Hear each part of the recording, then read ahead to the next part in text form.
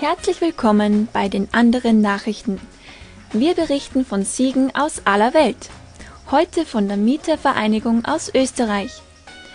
Das österreichische Parlament hat in einer Novelle zum Elektrizitätswirtschafts- und Organisationsgesetz, kurz ELWOG, entschieden, dass Österreichs Haushalte die Umstellung auf digitale Smart Meter Energiezähler verweigern dürfen.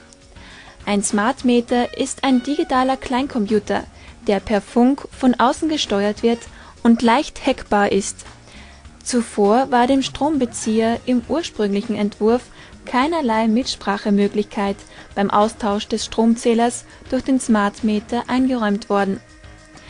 Nun ist es der Mietervereinigung und all jenen, die die Petition Zwangzähler Nein Danke unterstützt haben, gelungen, die Parlamentarier von einer kundenfreundlichen Datenschutzregelung zu überzeugen.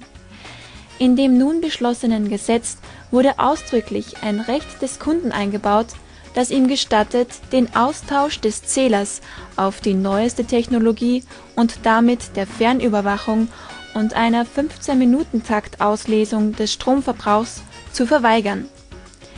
Die Mietervereinigung hatte im Vorfeld mehrfach darauf hingewiesen, dass die geplanten Regelungen verfassungs- und datenschutzwidrig seien und eine Wahlmöglichkeit der Kunden gefordert zumal die Smart Meter hochgradig krebserregend sind. Hier sprechen wir ein Bravo an die Mietervereinigung Österreichs aus. Entschiedenes Auftreten und Eintreten für geltendes Recht lohnt sich. Auf Wiedersehen und bis zum nächsten Mal.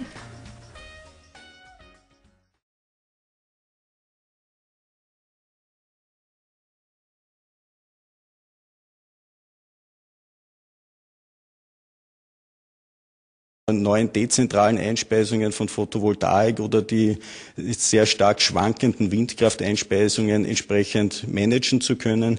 Es können auch die Netze, die Stromnetze entsprechend optimiert betrieben werden. Also es gibt zahlreiche Vorteile, die den Aufwand bei weitem überwiegen. Die Vorteile, man wird sehen. Das Stichwort ist der Aufwand.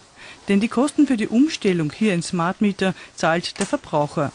Wie viel das ist, dazu gibt es unterschiedliche Angaben. Die E-Control sagt, man wird es nicht merken. Das Ministerium geht von 40 Euro Einmalkosten aus. Die Mietervereinigung spricht von 360 Euro pro Haushalt. Und dass Smart Mieter alle Viertelstunden den Stromverbrauch messen und die Daten ans E-Werk senden, sorgt man sich hier um den Datenschutz weil es nicht geklärt ist, äh, wie die Datenübertragung funktioniert. Und äh, wenn äh, hier die Datenübertragung gehackt wird, kann man feststellen, wie das Wohnverhalten ist. Wann stehe ich auf, wann gehe ich zur Arbeit, wann komme ich nach Hause. Also hier ein gefundenes Fressen für jemanden, der zum Beispiel schauen will, ob jemand zu Hause ist oder nicht. Und daher ist das höchst bedenklich. So sehen das auch die Datenschützer. Ihre Ansicht, elektronische Geräte sind zu hacken. Und die Gefahr besteht darin, dass die Smart Meter miteinander verbunden sind. Ich gehe in ein Gerät rein, ich hacke ein Gerät, ich hacke einen Smart Meter und kann dann von einem Smart Meter zum nächsten springen und dann entweder die Abrechnung manipulieren oder im Zweifel eben auch einzelne Geräte oder Haushalte abschalten oder im Worst Case sogar das gesamte Stromnetz lahmlegen. Doch im Ministerium beruhigt man. Noch sind drei Jahre Zeit bis zur Umstellung. Was die intelligenten Zähler auf jeden Fall bringen, der Konsument kann genau sehen, wann und womit er wie viel Strom verbraucht und so leichter Strom sparen. Die E-Wirtschaft kann sehen, wann wird besonders viel Strom verbraucht und die Preise entsprechend anpassen.